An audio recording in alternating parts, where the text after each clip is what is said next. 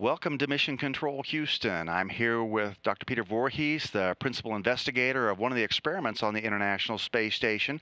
Uh, this is a rather special run for this experiment because uh, it's one where we brought the samples up on the SpaceX Dragon vehicle and we'll be returning them home when the SpaceX Dragon comes back on May the 25th. So it's a very quick run, and uh, Dr. Voorhees will tell us a little bit more about his experiment and uh, why it's important for it to come back so quickly welcome to Mission Control. Thank you. It's a pleasure to be here.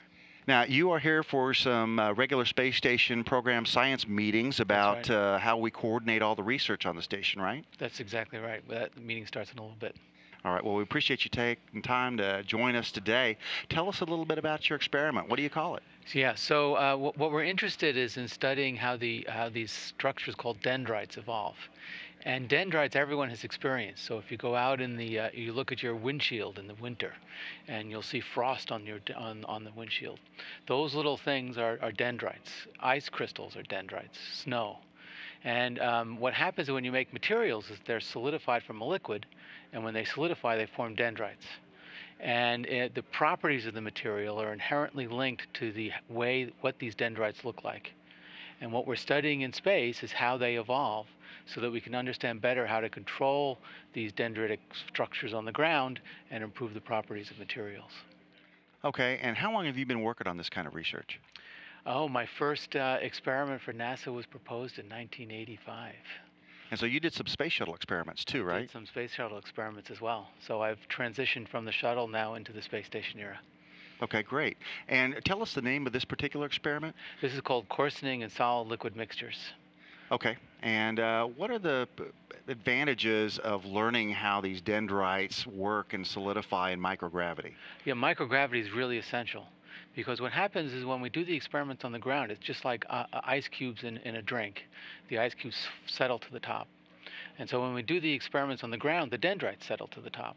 And uh, that's exactly not what we want. We want them to be uniformly distributed in the liquid. And so in space, there's the absence of gravity and they stay approximately fixed in space, and we can watch these things evolve in, in, during the experiment without having them settle.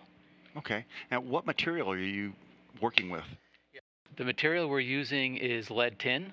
This is commonly called solder. But the nice thing about lead tin is that it melts at a very low temperature. It's only 185 degrees centigrade, so it's easy to do the experiments in space. Okay, great. The uh, furnace only takes 11 watts of power.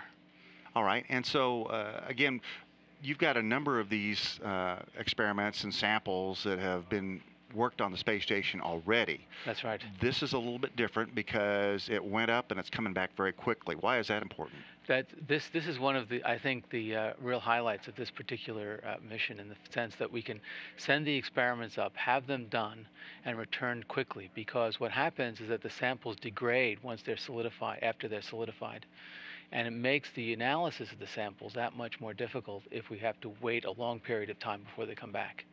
So the ability to retrieve the samples very, very quickly is really a, a really, real uh, plus for us. okay, and so these samples are going to come back on uh, May, the March the 25th. When do you expect to have them in your hands? March the 28th. Wow, that's pretty quick return. Yes.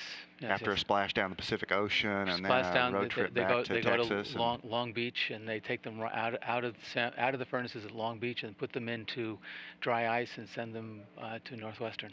Great. And what kind of analysis do you do on these? Yeah, what, what, we, what we do when we get them back in the laboratory is that my students and postdocs will be working on cutting them up and looking at the insides of the samples to look at the dendrite structures. And tell us a little bit more about the potential benefits to people here on Earth from what we learn about this. Yeah, it turns out that the, the properties of materials, let's say aluminum alloys that are used in bicycles or used in engine blocks, are inherently linked to how the what these dendrite structures look like. In other words, what these Christmas Christmas tree-like structures uh, look like.